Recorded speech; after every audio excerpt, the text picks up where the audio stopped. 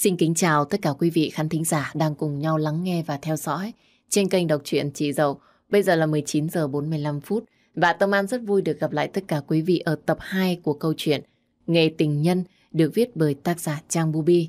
Sau khi gửi tới cho quý vị tập 1 của câu chuyện này, chúng ta được làm quen với cô gái tên My, một cô gái vô cùng thông minh xinh đẹp, nhưng bởi vì hoàn cảnh mà phải đưa chân bước vào thế giới của những con người khổ ải, mạt hạn của xã hội. Và để có tiền lo cho em trai của mình ngày hôm nay, cô gái tên My của chúng ta ký một bản hợp đồng tình nhân với chàng trai tên Dương và mọi chuyện sẽ như thế nào. Xin mời quý vị cùng chú ý theo dõi tập truyện ngày hôm nay để biết thêm những tình tiết hấp dẫn thú vị. Sau khi lắng nghe xong câu chuyện này, nếu như quý vị yêu thích giọng đọc của Tâm An, hãy chia sẻ video này đến với tất cả mọi người để mọi người có thể lắng nghe được giọng đọc của Tâm An nhiều hơn. Xin cảm ơn quý vị rất nhiều. Ngay bây giờ không để quý vị phải chờ đợi lâu hơn nữa, Tâm An sẽ gửi tới cho quý vị nội dung tập 2 của câu chuyện này. Xin mời quý vị cùng thưởng thức.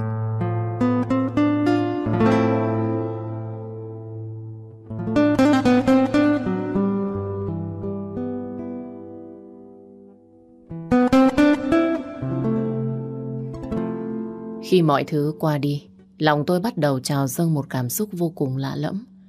Vô thức một giọt nước mắt chảy dài xuống môi, thấm vào trong miệng, đắng ngắt.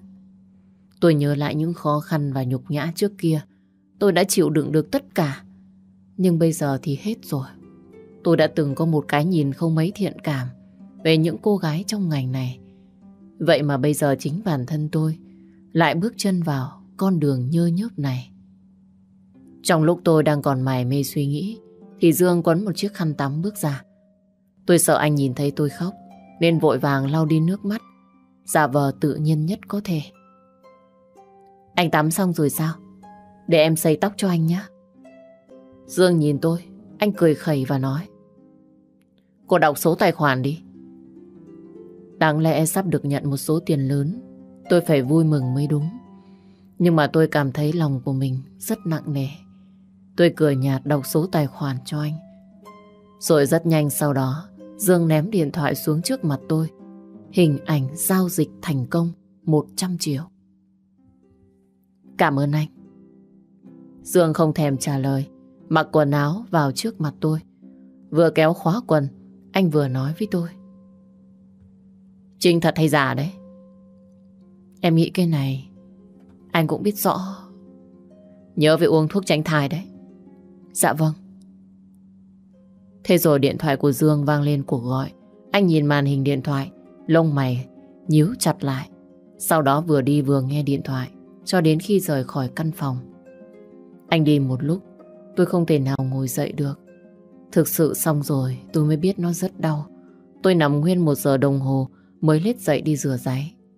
Bây giờ cũng gần nửa đêm, nên tôi quyết định ngủ lại khách sạn. Đến sáng hôm sau tôi vừa mở mắt, nhìn thấy điện thoại hiện lên năm cuộc gọi nhỡ của cô Sang. Tôi vừa bấm máy gọi lại, thì giọng của cô hồ hởi. Thế nào, lên giường với nhau chưa? Lúc đó tôi cũng quái lạ lắm. Chắc cô Sang là người mẹ đầu tiên. Tôi thấy sốt ruột để con trai của mình lên giường với một cô gái như tôi. Có điều tôi không muốn nghĩ nhiều. Có tiền rồi, đối với tôi, tiền mới là quan trọng. Dạ rồi cô à. Tốt, để tôi chuyển tiền cho cô. Sau đó tiếp theo cần làm gì, tôi bảo cô sau. Còn bây giờ cô về nghỉ ngơi, rồi lấy lại sức nhá. Dạ vâng ạ. Tắt điện thoại chưa được bao lâu thì tin nhắn báo đến điện thoại của tôi cộng thêm 200 triệu. Tôi nhìn con số trong tài khoản của mình một con số mà cả cuộc đời này tôi luôn ao ước. Vậy mà tại sao tôi lại có cảm giác mình đã đánh mất một thứ rất quan trọng? À, tôi biết đó là gì rồi. Đó chính là mất nhân cách. Vì có tiền cấy ghép tim nhân tạo cho mình nên tôi xin bà chủ nhà hàng cho mình nghỉ chục hôm để chăm sóc em. Bình thường bà chủ giữ mồm giữ miệng, nhưng mà bà cũng hiểu hoàn cảnh của chị em tôi, nên đồng ý và không làm khó. Từ khách sạn tôi về nhà thay đồ, rồi đến bệnh viện nộp tiền phẫu thuật hết 140 triệu. Xong xuôi tôi ra cổng bệnh viện, mua cho em tôi mấy hũ yến trưng sẵn. Minh này, sắp phẫu thuật rồi, phải cố gắng ăn uống mới có sức biết chưa? Chị My, số tiền lớn như vậy, chị lấy ở đâu ra chứ? Nghe thằng bé hỏi như vậy, lòng tôi bỗng nhiên nặng nề, như có tảng đá lớn vô hình đè lên. Mắt tôi hơi trùng xuống, cố gắng nặn ra một nụ cười gượng gạo. Em cứ yên tâm, chị không vay mượn gì của ai cả. Chị, chị mới trúng số đấy. Thật à chị? Ừ, thật. Mình không tin chị à? Dạ có, mình tin chị My mà. Tôi phải nói dối, để cho em tôi không suy nghĩ nhiều. Chả nhẽ bây giờ tôi lại bảo chị đi ngủ với đại gia để có tiền sao? Có thể ngoài xã hội tôi chỉ là một đứa không ra gì, nhưng trong mắt em tôi thì tôi chính là người tuyệt vời nhất. Buổi trưa hôm đó bác sĩ Thành gọi tôi sang phòng để nói về tình hình ca phẫu thuật sắp tới của Minh. Lúc tôi đến còn thấy một cô bác sĩ rất trẻ đang ngồi trong phòng. Vừa nhìn thấy tôi, bác sĩ Thành giới thiệu. Cô My, cô đến rồi à? Cô ngồi xuống đây. Giới thiệu với cô, đây là bác sĩ Lê, mới nhận chức phó khoa ở đây. Bác sĩ Lê còn mới đi du học bên Singapore về. Sắp tới ca phẫu thuật của em trai cô. Có bác sĩ Lê phụ trách phẫu thuật cùng, nên cô cứ yên tâm. Dạ vâng, như vậy thì tốt quá. Chăm sự nhờ các bác sĩ. Bác sĩ Lê lúc này cười và đáp. Cô cứ yên tâm, chúng tôi sẽ cố gắng hết mình. Còn bây giờ chúng tôi phổ biến lại ca phẫu thuật một chút. Dạ vâng ạ. Nói rồi cả hai người cùng nói cho tôi nghe về ca phẫu thuật của mình.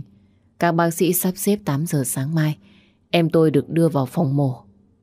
Đang nói thì bác sĩ Thành có điện thoại, nên căn phòng lúc này chỉ còn mình tôi và bác sĩ Lê. Lúc này tôi mới để ý, bác sĩ Lê còn rất trẻ, gương mặt nhỏ nhắn xinh đẹp. Nghe bác sĩ giới thiệu bản thân thì mới hơn tôi có 3 tuổi. Vậy mà được làm phó khoa rồi sao? Đúng thật là ngưỡng mộ. Cô My với bác sĩ Thành quen nhau sao? À dạ không, em trai em nằm viện lâu ngày ở đây, được bác sĩ điều trị chính nên quen biết nhau sơ sơ. Ừm, thế mà tôi cứ tưởng cô là bà con họ hàng gì với bác sĩ Thành.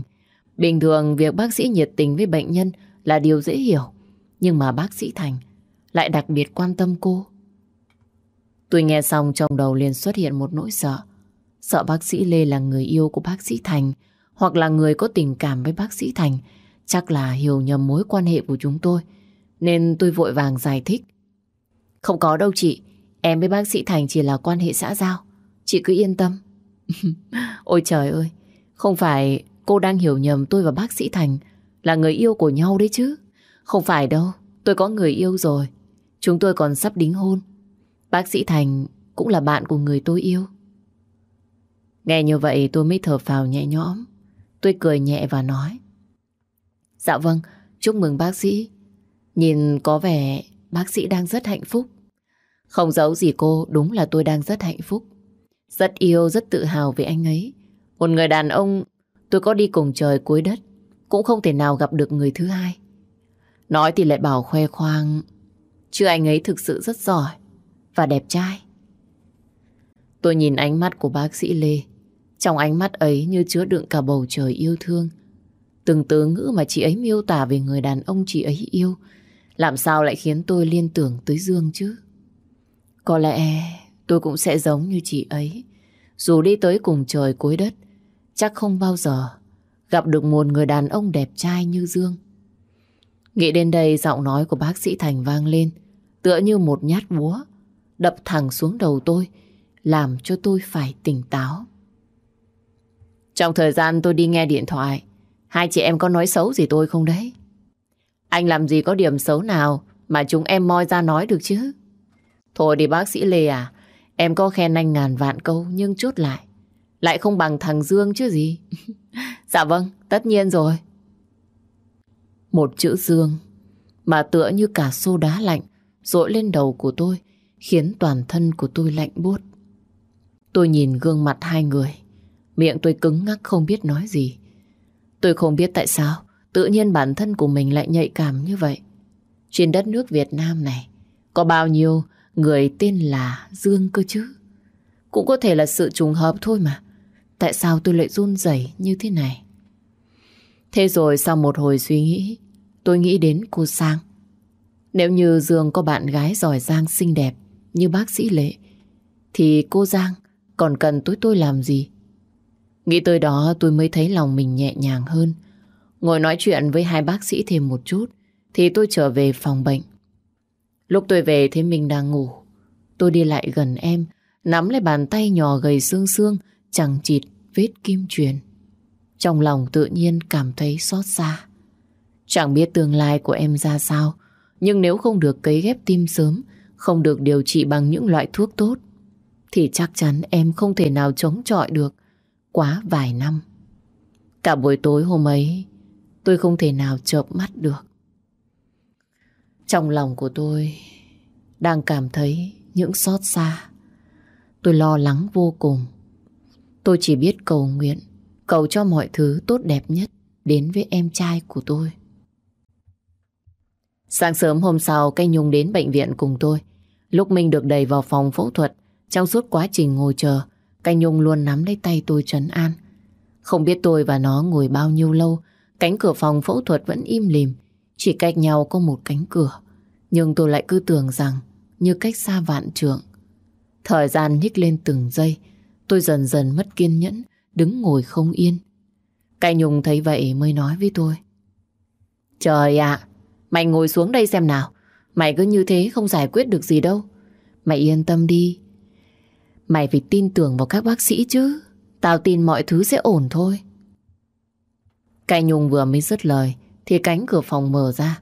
Bác sĩ Lê từ trong bước ra nói. Cả phẫu thuật thành công tốt đẹp. Chúc mừng gia đình nhé. Khoảnh khắc đó cuộc đời tôi như được tái sinh một lần nữa. Trộm vía sau khi cây ghép tim thì Minh nằm giường hơn một ngày cũng tỉnh lại. Được ăn một ít cháo loãng. Bác sĩ Thành cũng thường xuyên sang thăm khám cho thằng bé. Còn cẩn thận dặn đi dặn lại tôi những việc nên làm và không nên làm đối với bệnh nhân vừa cấy ghép tim. Cứ như vậy thời gian trôi đi. Cho tới ngày thứ 9 sau khi em tôi phẫu thuật, cô Sang gọi điện cho tôi. Cô đang ở đâu đấy? Dạ cháu đang ở bệnh viện với em cháu.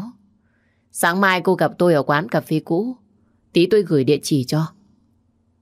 Bây giờ lời cô Sang nói giống như mệnh lệnh đối với tôi. Nên tôi làm gì dám từ chối. Thế nên tối hôm đó tôi phải gọi cho cái Nhung cầu cứu. Ngày mai mày rảnh không? Đến bệnh viện chăm thằng Minh giúp tao buổi sáng. Tao đi có việc. Ừ, biết rồi. Mà tao nghỉ việc ở quán bar rồi. Sao lại nghỉ? Ông Phúc làm khó gì mày về vụ của tao à? Ôi giời, không phải. Tối qua lão Phúc ăn cái gì mà cứ nhất quyết bắt tao ngồi hầu rượu với lại hát cùng với một thằng cha thối mồm. Bố tổ, tao không thể nào ngửi được nên bật lại lão. Cuối cùng ăn nguyên combo trừ lương với đuổi việc. Thôi, nghỉ ngơi vài hôm rồi tìm việc khác vậy. Mà trước mày trả tốt nghiệp cấp 3 rồi còn gì?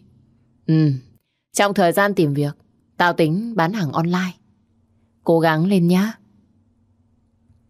Thế là sáng hôm sau cái Nhung vừa đến bệnh viện thì tôi vội vàng bắt xe đến chỗ hẹn với cô Sang. Thực ra cả đêm qua tôi suy nghĩ mãi. Sau khi phẫu thuật cho Minh xong, tôi vẫn còn một khoản tiền. Mà khoản tiền này cũng đủ chi trả tiền thuốc cho em trong thời gian tới.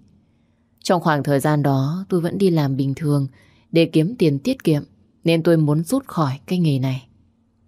Thế nhưng tôi vừa đưa ra ý kiến thì cô Sang liền thay đổi thái độ nói với tôi. Cô xem tôi là trò chơi của cô đấy à? Lúc cô cần tiền thì cô tìm tới tôi. Bây giờ mọi thứ xong xuôi rồi, cô tính qua cầu rút ván à? Cô đọc kỹ lại hợp đồng đi. Nếu cô làm trái thì bồi thường gấp 5 lần giá trị hợp đồng. Cô Sang à, cháu nhớ trong hợp đồng ghi rằng ngủ được với con trai cô thì được 200 triệu. Cháu cứ tưởng như vậy là xong. Còn mấy khoản đi làm hay không thì tùy cháu chứ ạ. Tôi thuê cô không phải lên giường với thằng Dương không? Nếu lên giường ấy thì thiếu gì gái. Thậm chí con trai tôi nó chỉ cần gật đầu một cái thì cả đống đổ vào lòng nó. Thế bây giờ cô muốn cháu làm gì? Cháu không hiểu tại sao cô lại muốn con trai mình dây dưa với một cô gái như cháu. Nhà cô giàu có, thiếu gì cô gái cành vàng lá ngọc đâu ạ. Đó không phải là việc của cô. Việc của cô bây giờ là ngoan ngoãn làm theo hợp đồng. Nếu không... Nếu không... Nếu không thì sao ạ? Đoạn clip của cô đêm hôm đó sẽ được tung lên các trang mạng xã hội. Chắc là đẹp mặt lắm. Lời nói của cô Sang làm tôi chết lặng toàn thân. Hóa ra đêm hôm ấy, cô Sang đã cho người đặt camera trong phòng, ghi lại cảnh chúng tôi trần chuồng bên nhau. Lúc mà cô Sang giơ chiếc điện thoại ra trước mặt tôi, nhìn lại cảnh tượng đó, tôi cảm thấy thật kinh tởm. Kinh tởm đến mức cổ họng của tôi lợm lên, suýt chút nữa, thì nôn ngay tại chỗ. Cô, cô Sang... Thế nào? Bây giờ ý cô thế nào? Vậy bây giờ cháu phải làm gì tiếp theo? Số việc nhà con trai tôi mới nghỉ. Ngày mai cô đến đó làm theo giờ. Cứ ngoan ngoãn mà làm. Làm tốt ý, theo những gì tôi bảo. Xong việc rồi thì cuộc đời của cô sẽ lên một tầm cao mới. Mà nhớ, tôi cấm cô đem lòng yêu thằng Dương. Càng lúc tôi càng khó hiểu.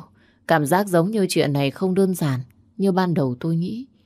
Nhưng mà bây giờ tôi đâu còn lựa chọn nào khác. Nếu như tôi không đồng ý, thì tôi lấy đâu ra số tiền lớn để bồi thường hợp đồng. Còn đoạn clip kia. Em của cháu đang nằm viện, lại mới phẫu thuật xong, nên cô cho cháu thư thư vài hôm có được không ạ? Không được là không được. Cậu cứ lo tốt việc của mình đi. Còn em trai của cô, tôi cho người chăm sóc riêng. Hoặc cô cứ thuê người chăm sóc nó, tôi trả tiền cho cô là được. Tạm thời tôi không biết phải làm sao, nên chỉ biết thỏa hiệp với cô. Sẵn tiện cây Nhung đang rảnh. Tôi bảo cây Nhung ở viện chăm sóc cho thằng Minh. Đằng nào tiền đó cũng là tiền cô sang trả. Với lại có cây Nhung chăm sóc em tôi. Tôi cũng yên tâm hơn phần nào. Sáng ngày hôm sau tôi bắt taxi đến địa chỉ mà cô sang cho. Khi tới nơi nhìn căn biệt thự to đùng ở ngay vị trí đắt nhất Hà Nội, tôi mới hiểu hóa ra những ngôi nhà giàu tôi hay nhìn thấy trên phim cũng chưa là gì với ngôi nhà này. Tôi nói tên cho bảo vệ, giới thiệu mình là giúp việc mới nên được mở cổng vào trong. Khi tôi bước vào tới, thì Dương từ trong thang máy bước ra. Anh ta nhìn thấy tôi, nhíu mày, lạnh lùng hỏi. Cô đến đây làm gì? Trái tim tôi lúc này bỗng chốc đập nhanh, còn hơn lúc mới gặp gỡ. Tôi hít một hơi thật sâu, cảm thấy cổ họng thông, mới dám lên tiếng đáp lại.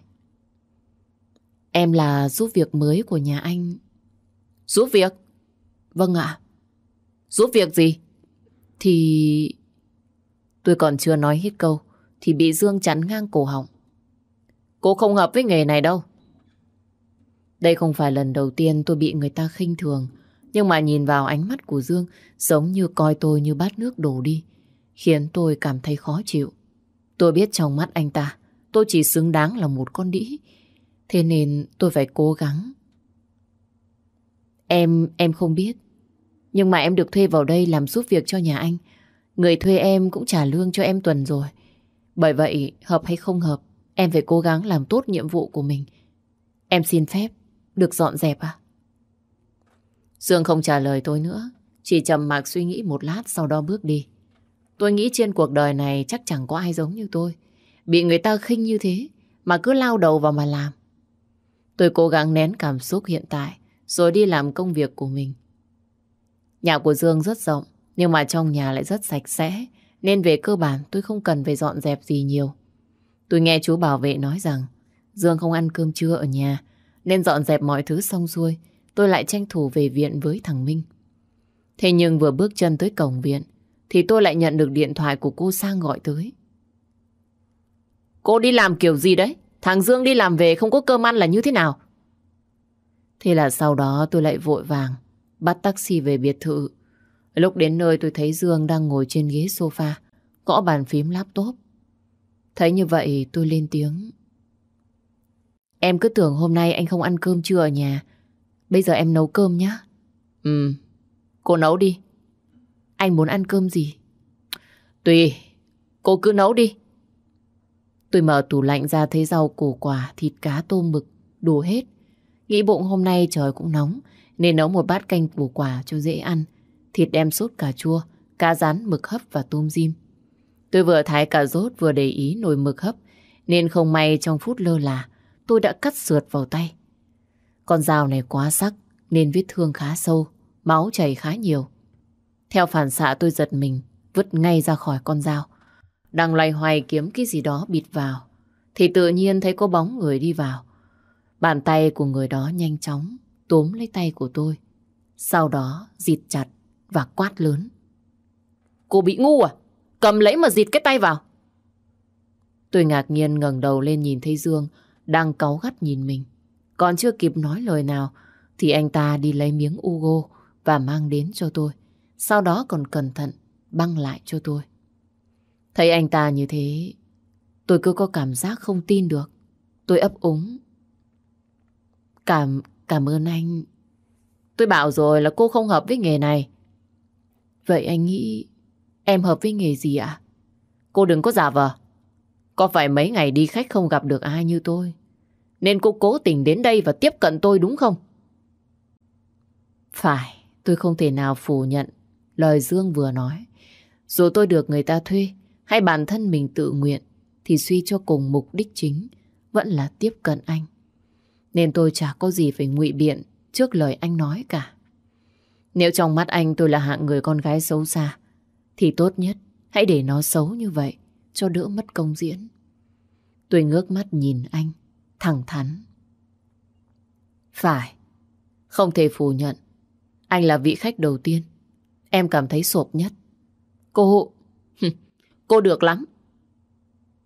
Câu khen ngợi của anh giống như cây tát giáng xuống mặt của tôi. Tôi cũng không buồn đôi co nữa, mà quay trở lại chuyện chính. Anh ra ngoài ghế ngồi đi. Em nấu cơm xong em gọi. Tôi vừa xoay người thì bất ngờ bị Dương túm lấy cổ tay của mình. Anh nhìn thẳng vào đôi mắt của tôi. Từ nay cô không cần phải nấu cơm cho tôi. Nấu ở trên giường là được rồi. Cái cái gì cơ ạ? Ánh mắt của anh lúc này nhìn tôi đầy vẻ miệt thị, giống như kiểu anh đang nghĩ rằng tôi là con cáo già, nhưng vẫn giả vờ ngây thơ. Rồi anh chậm rãi nói. Cô muốn tiếp cận tôi lắm, có đúng không? Thì, thì sao? Vậy thì cô thành công rồi đấy. Thực ra tôi thấy cô lần đầu cũng rất chuyên nghiệp. Nên tôi quyết định mua lại thời gian của cô trong vòng 3 tháng. Chỉ cần cô biết nghe lời, an phận. Mỗi tháng tôi cho cô tiền sinh hoạt. Công việc vô cùng đơn giản. Chỉ cần cô phục vụ nhu cầu trên giường cho tôi là được. Rõ ràng là mục đích tôi đạt được sớm hơn rất nhiều so với dự kiến ban đầu. Nhưng tại sao lòng tôi lại cảm thấy hụt hẫng Giống như mình vừa đánh mất thứ gì đó rất quan trọng. Sâu thẳm trong trái tim tôi, một nỗi đau vô hình không ngừng dấy lên. Ừ, thì tôi làm tiền thật đấy. Nhưng mà ít nhất tôi vẫn còn một chút tự trọng. Cuối cùng tôi đành phải đồng ý. Dạ được ạ.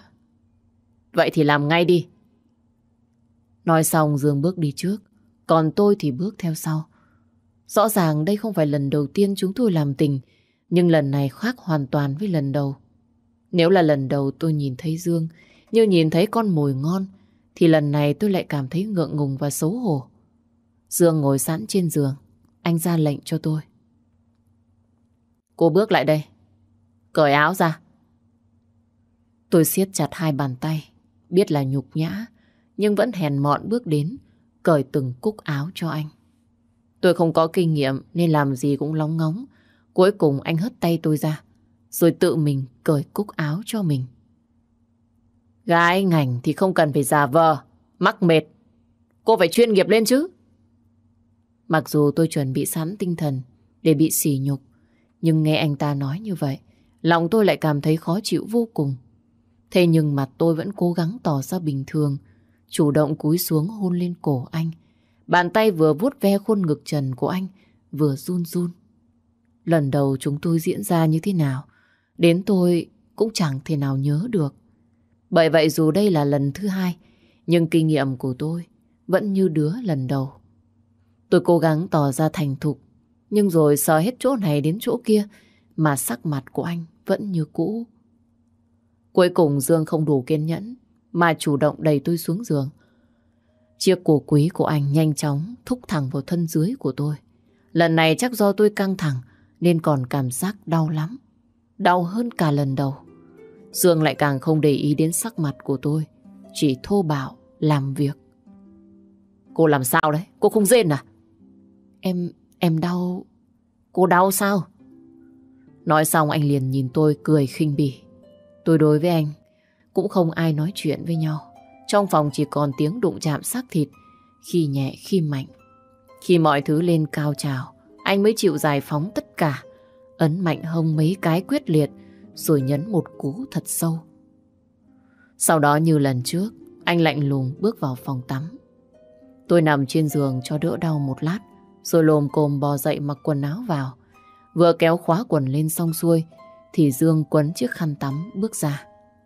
Tôi định xin phép ra khỏi phòng, thì Dương cầm ví, rồi rút ra trong đó một số tiền mệnh giá 500 nghìn đưa cho tôi. Tiền công của cô ngày hôm nay. Tôi nhìn những tờ tiền trước mặt mình, biết là nhục nhã, nhưng tôi vẫn đưa tay ra cầm. Cảm ơn anh. Khỏi cần bày đặt cảm ơn, mà nhớ phải uống thuốc tránh thai cẩn thận. Đừng để sau này có hậu quả. Thì em biết, em biết mà, em còn phải lo cho thân mình. Em mà có con với anh, thì sau này em lấy chồng kiểu gì chứ? biết như thế là tốt. Còn điều này nữa, trong thời gian qua lại với tôi, đừng để tôi phát hiện ra cô còn qua lại với thằng nào. Mỗi tháng cô cần bao nhiêu tiền cô phải nói thẳng. Tôi sẽ cung cấp cho cô. Vâng ạ. Cô đi ra ngoài. Từ bây giờ không cần phải đến đây. Có cái gì tôi gọi sau. Em biết rồi. Sau khi bước qua khỏi cánh cửa, tôi lập tức thu lại vẻ mặt tươi cười giả dối khi nãy. Tôi đi thẳng xuống tầng rồi ra cổng bắt xe về phòng trọ. Thực sự mỗi bước đi của tôi, tôi cảm thấy rất đau. Nỗi đau mà tôi cảm nhận, nó gấp mấy lần, lần đầu tiên trong đời. Về đến nhà trọ tôi đi thẳng vào nhà tắm để xả nước.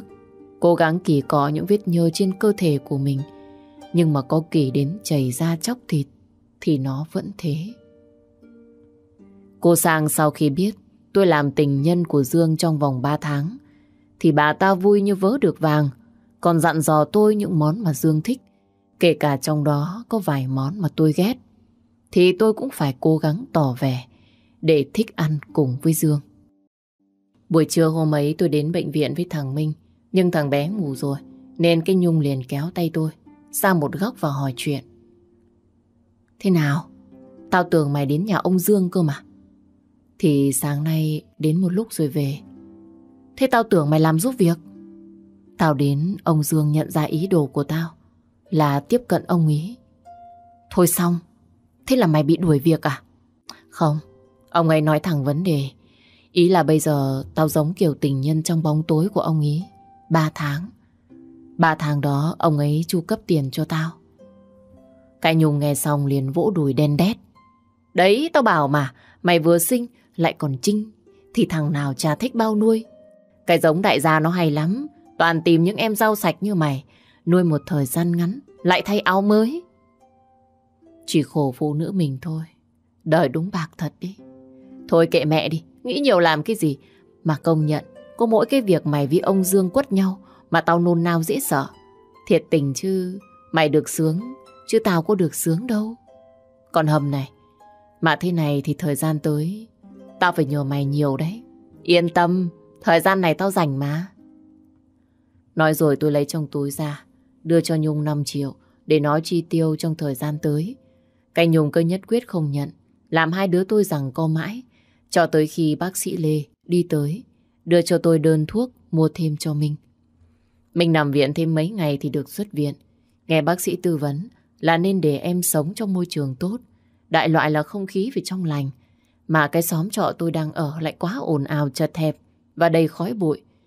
Sau một hồi suy nghĩ bàn bạc với cái Nhung, thì chúng tôi quyết định thuê riêng một căn hộ chung cư giá bình dân 3 triệu rưỡi. Và trước mắt ba người chúng tôi sẽ dọn về sống chung với nhau. Buổi chiều hôm Minh được xuất viện về, tôi có đến gặp bà chủ trọ, thanh toán tất cả các khoản nợ.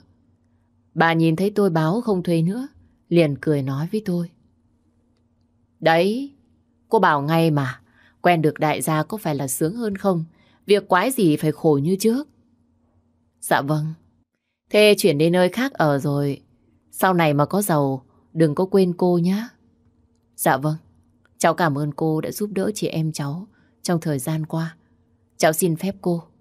Chị em cháu đi đây à? Ừ, nhớ giữ liên lạc đi mi nhá. Dạ vâng ạ. Sau khi ổn định nhà cửa mọi thứ xong xuôi, cũng đã một tuần tôi chưa thấy Dương gọi.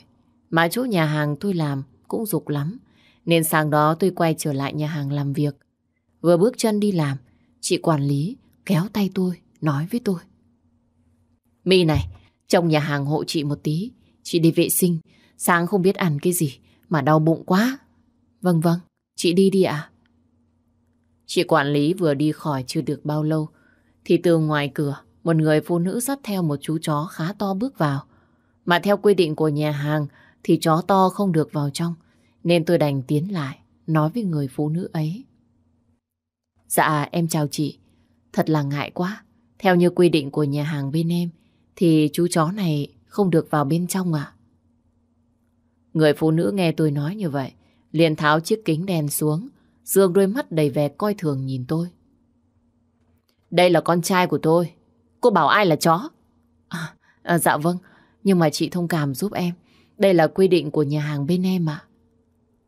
Tôi vừa mới dứt lời, thì người phụ nữ kia liền thay đổi sắc mặt, giết giọng lên chửi tôi. Cô là ai mà dám nói giọng điệu đó với tôi hả? Làm phục vụ nhà hàng mà không biết tôn trọng khách hàng à? Đây là con trai của tôi. Nó còn đáng giá hơn cái loại nghèo hèn như cô. Người phụ nữ kia vừa mới nói xong. Không để tôi nói một lời nào. Lại tiếp tục oang oang gọi lớn. Chủ của nhà hàng này đâu? Ra đây mà xem nhân viên làm ăn như thế này mà được à? Các người có biết tôi là ai không? Lúc đấy tất cả các ánh mắt đều đổ dồn về phía chúng tôi. Dù tôi cô cố gắng nín nhịn, kêu chị ta bình tĩnh, nhưng nghe xong chị ta chỉ cười khẩy, rồi lại càng làm lớn chuyện hơn. Chị chủ nhà hàng rất nhanh sau đó cũng có mặt. Chị nhìn tôi bằng ánh mắt khó chịu, rồi quay qua nói nhỏ nhẹ với người phụ nữ kia. Thưa chị, tôi là chủ nhà hàng. Không biết nhân viên của tôi đã làm gì để cho chị không hài lòng thế này. Chị là chủ nhà hàng hả? Thế chị có biết tôi là vợ của giám đốc Từ không? Người mà một tháng trước đặt biết bao nhiêu là bàn tiệc bên nhà hàng này. Ngay lập tức, tôi muốn chị bảo cô ta xin lỗi tôi. Cô ta đã làm cho con trai của tôi sợ hãi đấy. Chị chủ nhà hàng liếc mắt nhìn một vòng. Chắc chị ta nghe đến con trai, thường là một đứa bé, chứ không nghĩ rằng đó là một con chó. Tôi thấy vậy thì vội vàng giải thích. Dạ thưa chị, em thấy vị khách này dắt theo chú chó này vào tới cửa hàng thì em bước đến lịch sự nói với chị ấy là nhà hàng có quy định không được mang theo chú chó này vào. Em nghĩ em không làm gì sai cả. Này cô kia, cô ăn nói cho lịch sự. Cô nói chỉ thiếu điều leo lên đầu tôi mà ngồi. Thế mà lịch sự lịch sự cái gì? Chị ta vừa mới dứt lời thì một giọng nói quen thuộc vang lên. Vậy thì cô nhân viên kia, cô ngồi lên đầu cô ta luôn cho đủ. Theo phản xạ tôi quay về phía phát ra giọng nói. Tôi nhìn thấy Dương mặc cả cây đen từ ngoài bước vào. Đi theo sau anh ta còn có một người đàn ông khác. Chị ta nghe Dương nói như vậy sắc mặt liền xám xịt. Anh là ai chứ? Chuyện của anh à? Mà anh xía vào. Dương nghe xong hàng lông mày rậm khẽ nhíu chặt. Ánh mắt trước sau vẫn sắc lạnh, tựa như dao. Anh lạnh lùng cất lời. Cô không đủ tư cách để biết tôi là ai. Anh... Suốt cục, anh và con nhân viên này có quan hệ gì? Mà tại sao anh bênh nó? À, hay cũng là một bọn khố rách áo ôm giống nhau? Lúc này tôi thấy người đàn ông phía sau lưng anh ta định tiến lên thì Dương giơ tay làm cho anh ta lập tức dừng lại hành động. Dương nhìn người phụ nữ đó nhếch môi và hỏi Cô với con chó này có quan hệ gì? Nó là con trai của tôi. À, người phụ nữ đầu tiên trên thế giới này đẻ ra chó sao? Bảo sao cái bản mặt của chị lại xúc phạm người nhìn như thế? Nghe Dương nói mà dù đang tức tối, tôi cũng phải bật cười. Nhưng tôi nào dám cười to, phải cố gắng nín nhịn nụ cười để dành cười sau vậy. Người phụ nữ kia cũng tức đến xanh cả mặt. Vừa định nói lại thì bị một người đàn ông bước đến kéo tay. Bộ dạng khúm núm lo sợ. Cậu Dương. Nói rồi người đàn ông quay sang người phụ nữ kia, giết nhỏ. Có im miệng ngay không? Cô thích công ty ăn cám cả lũ à? Tại sao anh lại ở đây chứ? Thế cô biết đây là ai không? Là người tôi khó khăn lắm mới xin gặp mặt được ngày hôm nay đấy. Trời đất ơi con mụ đàn bà thối tha này. Cô sắp làm hỏng hết việc lớn của tôi rồi. Lúc này người đàn bà kia nhanh chóng thay đổi sắc mặt rồi quay sang nhìn Dương hạ giọng nói. À, anh là xếp Dương sao? Vậy, vậy còn ờ, cô gái này là... Dương không thèm liếc nhìn tôi, lạnh nhạt nói. Tôi không liên quan gì đến cô ta. Nhưng chuyện vừa nãy tôi thấy, rõ ràng là cô sai mà. Tôi đang suy nghĩ xem có nên ký hợp đồng với một người có tư cách tồi tệ như cô hay không. Ấy, tôi xin anh, anh cứ ký hợp đồng với chồng tôi. Chuyện của tôi không liên quan đến anh ý. Muốn tôi ký hợp đồng lắm hay sao? Dạ vâng, tôi rất muốn. Vậy thì cô nên thành tâm xin lỗi con chó này đi. Nó làm con của cô, đúng là mang tiếng. Sương thấy cô ta trần trừ, liền lạnh lùng bước đi. Sau đó cô ta lại cuống quýt. Xin anh chờ một lát, tôi sẽ xin lỗi con chó này. Tôi xin lỗi mà. Thế nhưng Dương không hề dừng chân lại. Sau đó mọi người giải tán. Tôi đứng thất thần mãi. Tại sao trong đầu tôi cứ nhớ đến câu nói, Tôi không liên quan gì đến cô ta Tại sao Dương nói câu đấy Lại làm tôi cảm thấy gai gai trong lòng? Kể ra cũng buồn cười thật, Ngủ với nhau hai lần rồi Nhưng vẫn là không liên quan. Hóa ra cái giá của nghề tình nhân Chính là sống trong bóng tối, Mãi mãi trong bóng tối mà thôi. Buổi tối tôi vừa mới ăn cơm xong Thì Dương gọi điện cho tôi. Cô đang ở đâu đấy? Em đang ở nhà. Qua với tôi một lát đi. Nói xong, Dương liền tắt máy. Nhanh chóng tin nhắn địa chỉ hiện đến. Đó là một khu chung cư cao cấp. Anh cho tôi cả số nhà và mật mã. Lúc tôi đến nơi thì Dương chưa về. Thế nên tôi lại tranh thủ vào mạng để xem vài kỹ năng làm tình. Dù sao với cái thân phận tình nhân thì tôi đang còn rất non nớt và gượng gạo so với những người trong nghề. Với lại tôi phải xác định một khi bước chân vào con đường nhơ nhớp này thì phải tập vứt bỏ hết liêm sỉ. Tức là mỗi lần đối diện với anh tôi phải cố gắng bình thản và thoải mái giống như chuyện thường ngày. Lúc sau thì Dương cũng về. Và vẫn giống như hai lần trước. Anh nhìn thấy tôi là lao vào. Khác so với mọi lần là bắt tôi đổi tư thế, đứng áp mặt vào tường. Một tay của anh giữ lấy eo của tôi, một tay chống vào tường. Giọng anh khàn đục hỏi tôi. Cô có thỏa mãn không? Thỏa mãn cái gì chứ? Đau sắp chết đến nơi rồi. Mà tôi đâu dám trả lời thẳng. Tôi gật đầu đáp lại. Thỏa mãn chứ? Anh làm như thế nào tôi cũng cảm thấy thỏa mãn. Thỏa mãn ư? Vậy thì rên to lên. Cô họng tôi khi ấy khô khốc nhưng phải cố gắng nuốt một ngụm nước bọt và bắt đầu phát ra những tiếng rên miễn cưỡng. Xong xuôi anh lại bảo với tôi. Từ ngày mai cô nghỉ làm ở nhà hàng. Tại sao chứ? Tiền tôi đưa cho cô, không đủ à? Dạ đủ, nhưng em đi làm cho đỡ buồn chân buồn tay. Với lại em làm nhà hàng này cũng khá lâu. Cô nghỉ ngơi, yên tâm sau này kết thúc với tôi. Tôi giới thiệu cho cô làm một nhà hàng lớn hơn. Ở đó có nhiều khách sộp, không kém tôi đâu. Tôi biết thừa mình đang bị anh mỉa mai, nên không thèm chấp, lập tức trả lời. Được thế thì tốt. Cảm ơn anh trước. Dương lập tức quay sang nhìn tôi. Ánh mắt u ám của anh càng trở nên sâu thẳm, giống như đang tức giận. Nhưng mà kỳ lạ dù tức giận đến mấy, thì vẻ mặt của anh vẫn thờ ơ như thường, thậm chí còn vô cùng bình thản, trả lời tôi.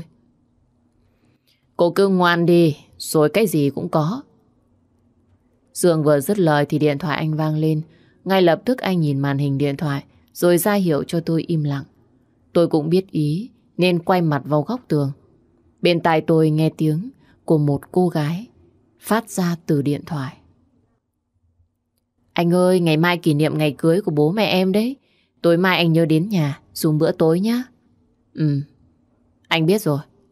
Mà bây giờ anh có rảnh không? Anh rảnh, làm gì? Thì tới đón em ở nhà cái Quỳnh có được không? Hôm nay em đi sinh nhật nó, có uống một chút rượu Nên em hơi chóng mặt Ừ ok Anh chạy xe qua bây giờ đấy Nói xong Dương bước đi luôn mà không thèm nói với tôi một câu. Sau khi anh đi khỏi, tự nhiên tôi thấy lòng mình nổi lên một hồi chua xót. Thế rồi tôi nhanh chóng bắt xe về nhà. Về đến nhà tôi thấy Nhung và Minh ngủ hết rồi.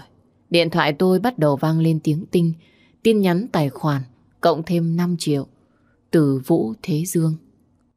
Đêm hôm ấy tôi nằm mãi không ngủ được. Tự nhiên trong đầu lại cứ lờn vờn cuộc trò chuyện của anh. Tôi cảm thấy anh và cô gái kia chắc là hạnh phúc lắm. Từ ngày gặp Dương, anh chưa bao giờ nói nhẹ nhàng với tôi một câu.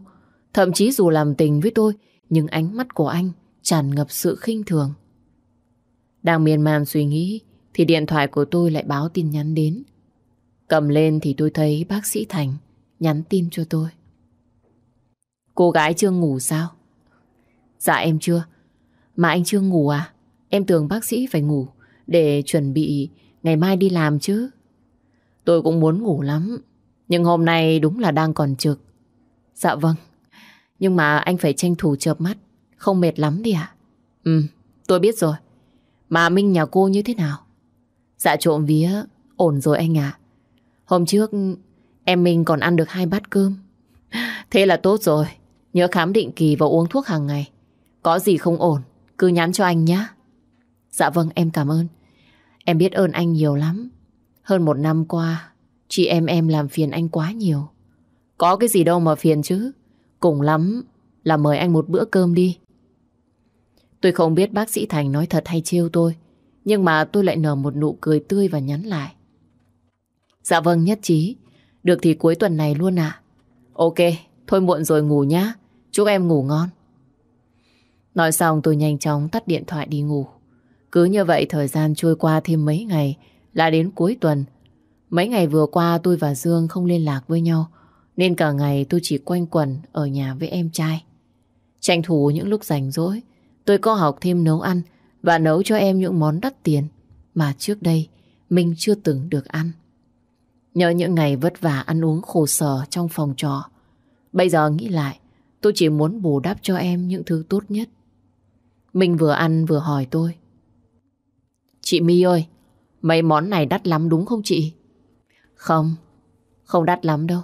Mình phải dáng ăn, cho nhanh lại sức nào. Em khỏe hơn rồi.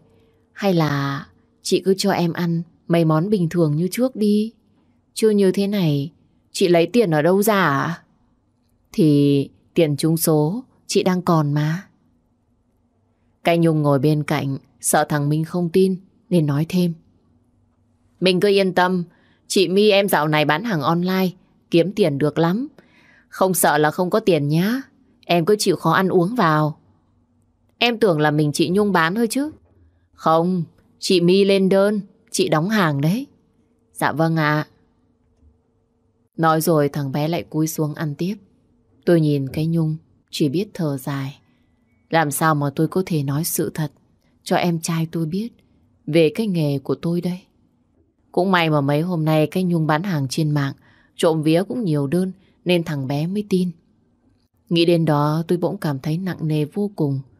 Có lẽ tôi phải dần dần tìm hướng đi cho tương lai của mình thôi. Thế rồi cái chuyện hẹn ăn cùng với bác sĩ Thành tôi cũng quên khuấy đi. Cuối cùng bác sĩ Thành nhắn tin tôi mới chợt nhớ ra.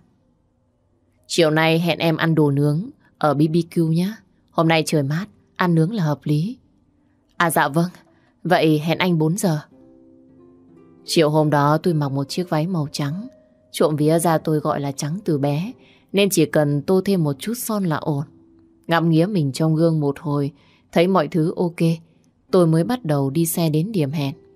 Cái Nhung thấy tôi ăn mặc đẹp, liền tùm tìm, chiêu tôi. Đi đến với Dương soái cả. Không, hôm nay có hẹn với bác sĩ Thành.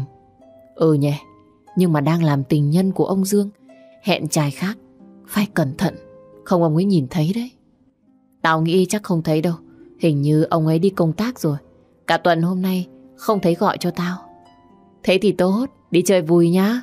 Ừ, mà này, nấu cơm cho Minh giúp tao. Biết rồi. Lúc tôi đến nơi thấy Thành đứng trước cửa quán chờ tôi. Mà kể ra ông này sau khi cởi bỏ bộ đồ làm việc ra thì thấy dáng dấp mọi thứ cũng giống chồng quốc dân của hội chị em phết. Tôi tiến lại gần mỉm cười. Anh Thành, anh chờ em lâu chưa ạ?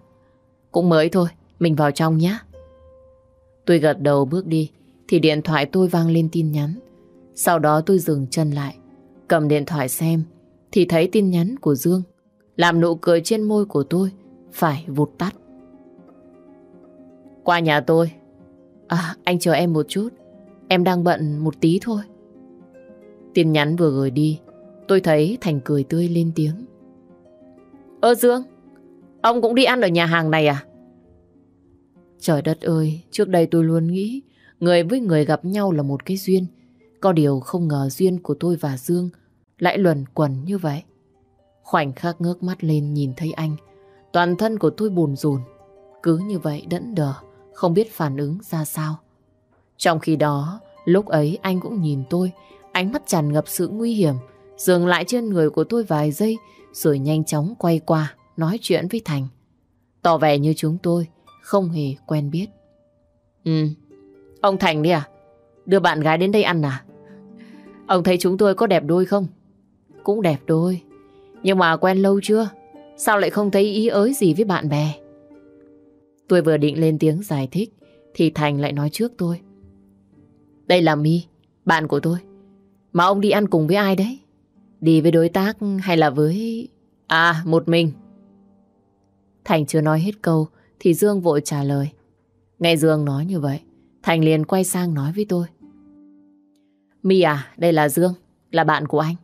Nếu em không ngại thì mời bạn anh ăn cùng mình luôn, có được không? Mang tiếng là bạn bè với nhau, nhưng mà thằng bạn quanh nó bận lắm. Chẳng mấy khi mới gặp nhau thế này. Nhân tiện đây anh thấy công ty Dương đang thiếu kế toán. Dương này, xem à, thế nào, sắp xếp cho mi một chân.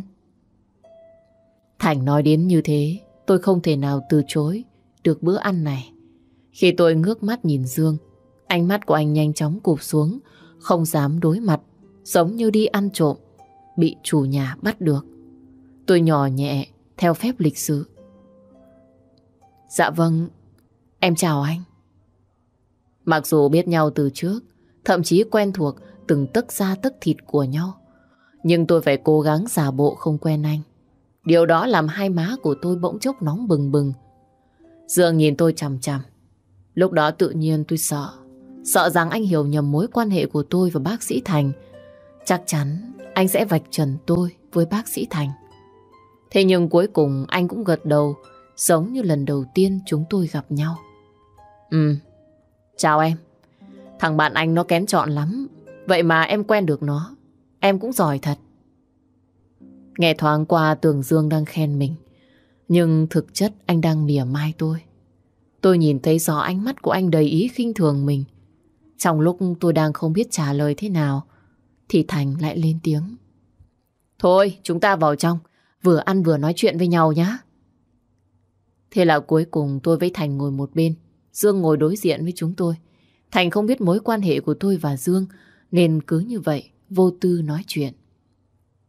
Khiếp, dạo này gặp ông khó hơn cả gặp Tổng thống. Mà ông bao giờ lấy vợ? Lê nó chờ ông lâu lắm rồi còn gì. Nói đến tên Lê, tôi mới giật mình nhớ đến bác sĩ Lê. Hôm ấy hình như cô ấy và Thành cũng nhắc đến tên Dương. Tôi thoáng chốc sững sờ. Chả nhẽ Dương chính là người yêu của bác sĩ Lê sao? Nghĩ đến đây tay của tôi không thể nào cầm đũa được nữa. Dương khẽ đưa chiếc ly rượu dơ về phía tôi và Thành, chạm ly một cái. Khi anh nhìn thấy tay của tôi đang run, liền cười nhếch môi rồi ngấp một ngụm rượu. Bây giờ đang còn sớm, nhưng mà ông ơi, thanh xuân người ta ngắn ngủi lắm. Ông cứ kéo dài như thế, đâu có được. Thế còn ông thì sao? Bao giờ lấy vợ? Bao giờ tìm được cô gái như mi thì tôi cưới. Nghe đến tên mình tôi giật mình, rơi cả chiếc đũa xuống. Cũng may khi đó tôi không uống nước, chứ không ấy, chắc tôi cũng chết vì sặc. Tôi ngạc nhiên hỏi. Dạ, anh, anh Thành, anh vừa nói gì cơ ạ? Thành thấy dáng vẻ lúng túng của tôi, vừa cười vừa đưa tay lên, lau khóe môi cho tôi. Vừa ăn, vừa để phần cho chồng em sao? Lại dính như thế này chứ? Tôi xấu hổ chỉ biết cười nhạt. Khi tôi liếc mắt lên nhìn Dương, tôi thấy ánh mắt đó đen sâu như vực không đáy, làm tôi không biết anh đang nghĩ gì. Chỉ thấy tim mình đập, đập mạnh lắm.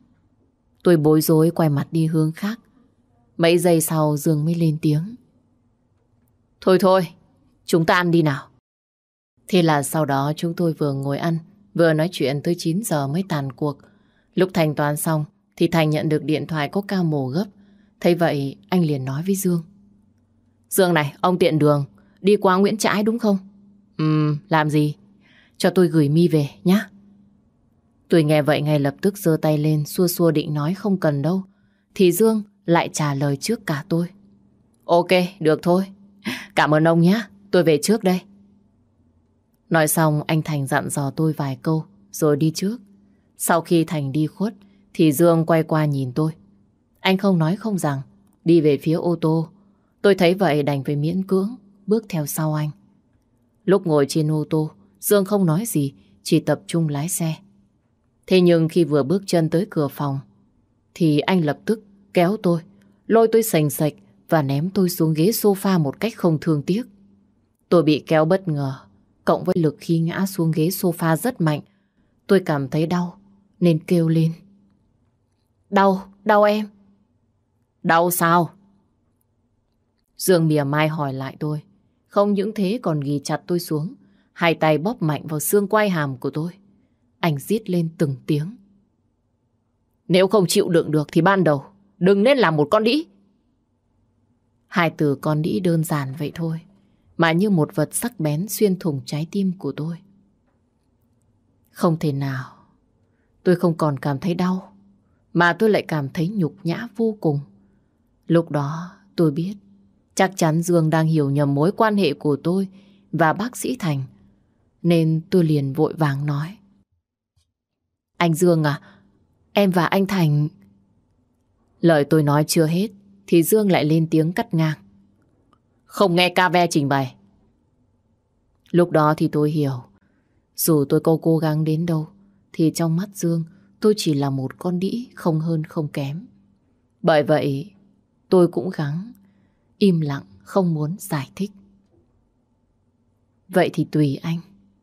Cô thèm tiền đến như vậy sao?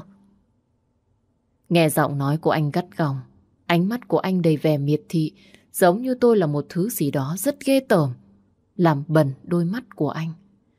Tôi đoán tiếp theo, anh lại xỉ nhục mình, nên tôi liền đáp. Phải, phải, tôi rất thèm tiền. Nếu không thèm tiền, tôi đâu có đi làm cái nghề điên này chứ. Tiền đối với tôi bây giờ là tất cả. Nó, nó không bao giờ là đủ. Tôi vừa mới dứt lời, cũng là lúc hai mắt của anh đỏ ngầu. Hơi thở gấp gáp không ngừng, phả ra men rượu khiến tôi có chút run sợ. Bởi vì người ta thường nói, đàn ông say rượu không kiềm chế được hành động. Hơn nữa anh lại đang vô cùng tức giận. Thế rồi sắc mặt hầm hầm nhìn tôi, như muốn ăn tươi nuốt sống. Đúng là bản chất của một con đĩ, chưa bao giờ là đủ. Cần tiền là đi bán thân, cần tiền là lên giường với người khác. Đồ rẻ mạt. Nói xong anh ta như điên như dại, lao vào xé toạc cả chiếc váy tôi đang mặc trên người. Lần này chẳng có màn dạo đầu nào hết. Anh không thèm hôn, cứ như vậy mạnh bạo, đâm vào cơ thể của tôi. Sự điên cuồng ấy khiến tôi đau đến mức phải cố cắn răng chịu đựng. Nhưng tôi không thể nào chịu được. Tôi đành phải kêu lên. Tôi xin anh. Tôi xin anh từ từ thôi. Cái loại đàn bà có một lại muốn có hai như cô. Rất xứng đáng bị như thế này. Trần đời, tôi rất ghét và căm hận những con đàn bà như cô. Anh ghét và căm hận ư? Thế tại sao? Anh còn lên giường với tôi? Bởi vì tôi muốn hành hạ cô. Cái thứ đàn bà rẻ mạt. Vậy là vừa làm tình, anh ta vừa chửi tôi một cách thậm tệ. Lúc ấy dù tôi có đau đến chết đi sống lại, thì tôi quyết tâm bám chặt tay xuống ghế sofa, dù cố gắng ngăn cho cổ họng không phát ra tiếng van nài, tôi cứ nằm như vậy, để mặc cho mọi thứ, để mặc nước mắt đang rơi như mưa, để mặc cho anh ta hành hạ trên thân xác của tôi. Khi giường thấy tôi khóc, cả người của anh hơi khựng lại, Rồi động tác trở nên kịch liệt trong một phút. Sau đó dừng hẳn. Trong khoảnh khắc đó, tôi đã kịp nghe, thấy riêng chửi thề. Mẹ kiếp thật, cô định để tôi dùng chung đồ với thằng khác à? Phong thích xong xuôi, anh cũng chẳng còn tâm tư nào mà để ý tới tôi. Chỉ gồng mình thêm vài giây cho đến khi cảm giác bức bách kia qua đi, lập tức bước xuống nền đất. Đi thẳng vào phòng tắm và xả nước. Còn tôi lúc này như bị ai đó rút cạn sức lực. Nơi dưới phần hạ thân của tôi còn cảm nhận rõ ràng đau rát. Đau hơn mọi lần rất nhiều. Người ta nói mỗi lần làm tình là mỗi lần lên đỉnh. Vậy mà tôi chẳng biết cái lên đỉnh mọi người nói ở đâu. Tôi chỉ cảm thấy đau. Chắc có lẽ vì chúng tôi không có tình cảm với nhau. Nên khi xảy ra chuyện đó cũng khác người thường. Lúc Dương bước ra khỏi phòng tắm, tôi vẫn chưa dậy được. Thấy tôi như vậy, anh lại tiếp tục mỉa mai. Làm sao? Ngày hôm nay cô làm mấy quốc rồi? Mà cô yếu như vậy chứ? Tôi biết anh đang muốn trừng phạt mình vì chuyện hôm nay. Càng thể hiện đau đớn, anh ta lại càng cảm thấy khoái cảm. Nên quyết định lì lợm đến cùng. Tôi không thèm trả lời, mà im lặng đứng dậy, bước vào phòng tắm. Lúc nhìn mình trong gương, nhìn dấu tích mà Dương để lại trên thân thời mình, tôi biết tôi đã sai rồi. Nhưng có sai, thì tôi không còn cơ hội để quay đầu lại nữa. Dù sao, tôi phải cố gắng bước đi, cho đến khi hợp đồng kết thúc. Nghĩ đến em trai mình mỗi ngày. Em mình khỏe mạnh, ăn được những món ăn ngon, uống những loại thuốc tốt. Cho nên dù đau đớn, tôi nhất định phải cố gắng. Tôi không biết mình đứng trong nhà tắm bao nhiêu lâu, chỉ cho tới khi cơ thể cảm thấy lạnh, tôi mới bước ra khỏi. Lúc đi ra tôi không thấy Dương đâu, màn hình điện thoại lại hiện lên thông báo, cộng thêm 5 triệu đồng. Bật ra khóe môi tôi nở lên một nụ cười mỉa mai. Ngay sau đó, tôi cũng lặng lẽ rời khỏi căn phòng. Những ngày tiếp theo tôi và Dương gặp nhau vẫn vậy. Những cuộc làm tình bất ngờ diễn ra không theo một quy luật nào hết. Và tôi cũng dần quen với điều đó. Sau khi biết Thành là bạn của Dương, tôi cũng hạn chế gặp bác sĩ Thành. Thì thoảng chúng tôi có nhắn tin với nhau, nhưng đa phần là vì chuyện của Minh. Có lần bác sĩ Thành còn nói với tôi. Dạo này gặp em khó thật. Dạ, đâu có đâu anh. Do em bận đi làm mà. Vậy sao? Cứ tưởng em rảnh, đưa Minh đi xem phim. Lúc nằm viện anh thấy Minh rất thích xem phim và đọc truyện tranh. Dạ vâng, thế thì em phải hẹn anh khi khác. Đợi em sắp xếp nhé. Ừ, ok. Tắt điện thoại xong, tôi thở dài, đặt điện thoại sang một bên, đầu tựa vào ghế sofa cho bớt mệt mỏi. Cái Nhung thấy vậy, liền cầm đĩa trái cây mang tới, ngồi kế bên tôi. Mày ăn đi cho có sức. Đúng là dính vào chai có khác. Nhìn mày tiểu tụy vãi ra. Hôm nay là ngày mấy rồi? Ngày 24. Tháng này âm dương bằng nhau. Mà tại sao mày hỏi tao thế? Mày chậm kinh à? Ừ, chậm cái gì mà chậm? Tao hỏi để xem bao giờ hết hợp đồng 3 tháng. Thế bao giờ mới hết? Gần 2 tháng nữa. Eo ơi, thế là mày với ông Dương qua lại với nhau được hơn một tháng rồi cơ à? Nhanh nhở? Ừ. Mày thấy thì nhanh. Chứ tao ấy, tao không thấy nhanh. Tôi vừa dứt lời thì điện thoại đổ chuông. Nhìn màn hình điện thoại tôi thấy số cô Sang gọi đến. Tôi có hơi khựng người. Tầm nửa tháng nay cô Sang không gọi đến cho tôi. Bây giờ nói với cô, tôi thấy có gì đó rất nặng nề. Thế nhưng tôi bắt buộc phải đứng dậy để ra ngoài nghe máy. Cô với thằng Dương thế nào rồi?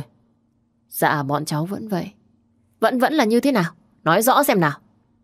Dạ từ hôm đó tới nay, anh Dương có tới chỗ cháu 6 lần. Thế mối quan hệ của hai đứa có tốt lên từng ngày không? Mối quan hệ của tôi và Dương chưa bao giờ là tốt. Ngay từ đầu anh đến với tôi như một cuộc trao đổi. Anh cho tôi tiền, còn tôi, tôi cho anh chỗ giải tỏa sinh lý. Thậm chí có những lúc rõ ràng đang làm tình với nhau, nhưng mà anh có thèm nhìn mặt tôi đâu. Nghĩ đến đó lòng tôi bỗng nhiên dấy lên một hồi chua xót.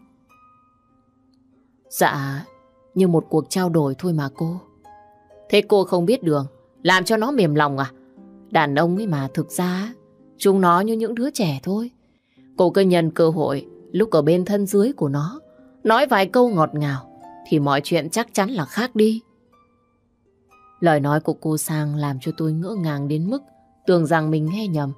Xong xuôi cô lại nói tiếp. Cứ làm theo những gì tôi bảo đi. Làm tốt ý, ắt được thưởng thêm. Dạ vâng ạ. Còn 48 ngày nữa thôi. Có cái gì, nhớ phải báo lại cho tôi đấy. Dạ vâng. Nói xong thì cô Sang tắt máy. Tôi cũng nhanh chóng quay trở vào trong nhà. Hôm nay là sinh nhật thằng Minh. Tôi với cái Nhung quyết định đưa thằng bé đi ăn. Đây lần đầu tiên mình được đến chỗ nhà hàng nên lúc bước chân vào thằng bé vừa thích nhưng lại vừa sợ tốn tiền. Lúc ăn gần xong tôi có hỏi Minh.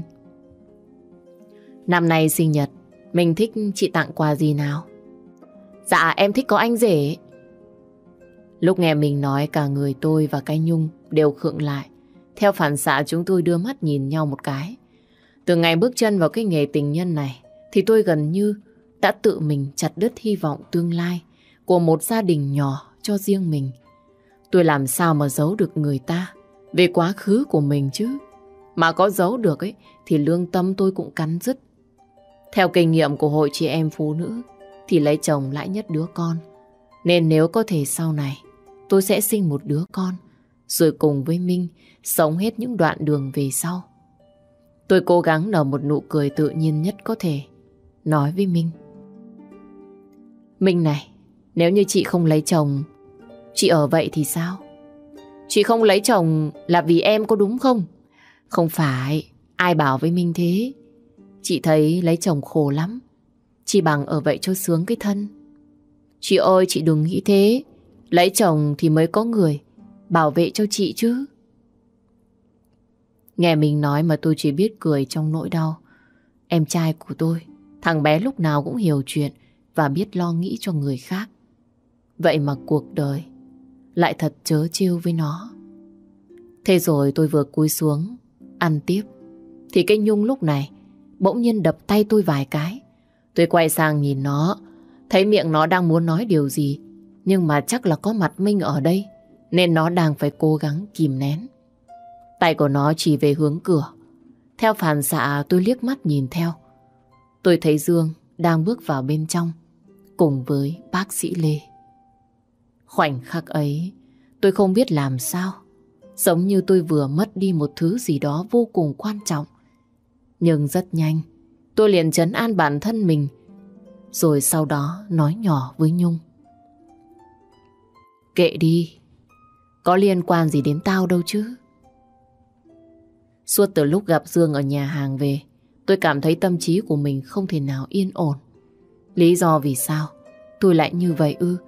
Đến chính bản thân tôi, tôi còn không dám đối mặt.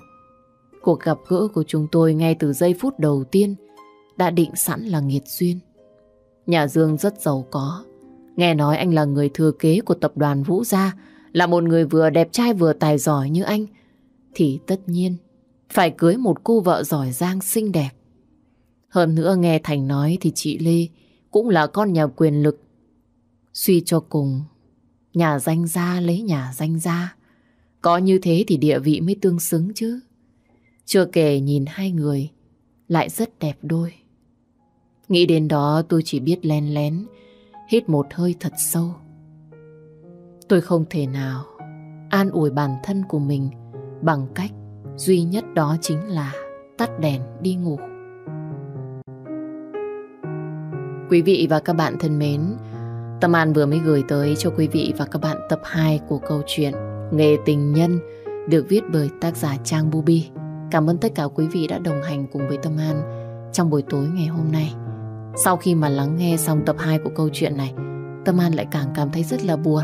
Không biết là bởi vì Tâm An ngày hôm nay à, tâm trạng buồn hay không nhưng mà thật sự là những cái lời văn này đọc ra cảm thấy rất là buồn, rất là khó nói. Nó động lại ở trong cổ của mình một cảm giác vô cùng dây dứt. Là thật sự là nếu như chúng ta mà gặp hiểu lầm ấy, là chúng ta cảm thấy bứt rứt khó chịu lắm. Phải muốn giải thích, phải nói ngay rõ ràng là tôi như thế này, tôi như thế kia và muốn đối phương phải hiểu mình. Nhưng mà trong câu chuyện này thì rõ ràng My và Dương đang hiểu nhầm nhau. Dương cho rằng My là một cô gái làm cái nghề mạt hạn và anh ta khinh thường cô. Còn My cũng vậy, cô không giải thích, cô cứ lấy tiền của Dương để lo cho em trai của mình. Và đến cuối cùng thì rõ ràng là Dương có vị hôn thê rồi, sắp tổ chức cưới đến nơi rồi, vậy mà còn qua lại với My. Vậy thì chuyện gì đang xảy ra thế này? Còn cái bà tên là Sương kia, đó có phải là mẹ ruột của Dương hay không? Thì chúng ta sẽ cùng nhau lắng nghe tập 3 của câu chuyện này. Tâm An sẽ gửi tới cho quý vị vào tối ngày mai. Và quý vị ơi hãy cùng theo dõi, cùng à, ủng hộ cho Tâm An và kênh đọc truyện Chị Dậu nhé. Còn bây giờ thì cho phép Tâm An xin được chào tạm biệt tất cả quý vị. Chúc quý vị có một buổi tối thật là ngon giấc. Chúng ta sẽ gặp nhau vào tối ngày mai. Xin chào và hẹn gặp lại.